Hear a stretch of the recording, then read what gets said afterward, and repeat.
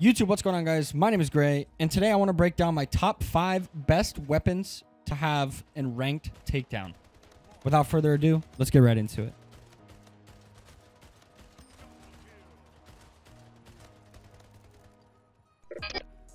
Firstly, I want to welcome you guys to the channel. If you guys are new, please hit subscribe, comment, like, and turn on the bell for notifications. You guys know the deal. With number five, going to be the carbine. I put the carbine here because it is the default weapon, and while it is the default weapon, it is a pretty okay to mediocre gun. Uh, the reason I say that is because you're going to hit for about 30 to 40, depending on if it's a headshot or a body shot.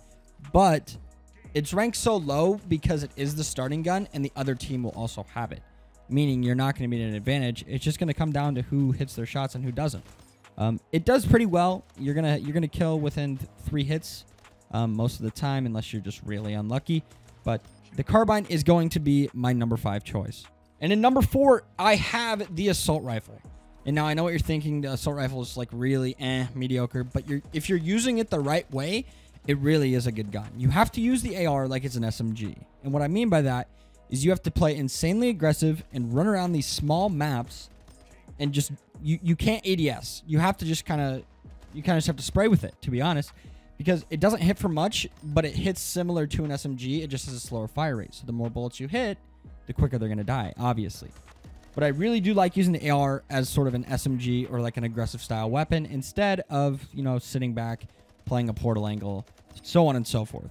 Coming in at number three, we have the battle rifle. I put the battle rifle at number three because while it is pretty okay when you're kind of spraying with it, it is a burst gun, so it's it's okay, but it's not better than most, okay? I like to use the battle rifle as an ADS. So if I'm holding an angle or if I'm holding, you know, a head glitch or something, I really like to ADS and catch enemies off guard because with those three hits, if you can hit all three, they're going to be one shot. They're going to be fairly weak. So having the battle rifle as my number three makes the most sense because it does what the AR can't, and that's ADS, and have a good damage count when using ADS. Coming in at number two, we have the sniper. Usually you guys would think it'd be at number one, but this time I'm going to go against the curve. The sniper is my number two selection because it's not a one hit unless you hit the head. And if you're playing aggressive and takedown, you're probably not going to hit the head unless you're just kind of cracked. But the sniper rifle is still a good weapon. This weapon can hit for 65 to the body and it will instant kill to the head. The reason it's number two instead of number one is because of that simple fact that it only hits for 65 to the body, and it's a, it's a single bolt action rifle, so you're gonna have to have a gun to switch to. And that brings me to my number one spot, which is the SMG. And I know a lot of people are gonna disagree with me, and you know that's totally fine. I'm open to conversation. I'd love to have a discussion about it, but I have the SMG as number one in rank takedown. I have it as number one because the thing absolutely shreds. If you can hit your shots and if you can get close enough, playing aggressive, you know, and uh, trying to get around angles and just getting up in everybody's face with the SMG, you're gonna win 90% of the gunfights that you go into.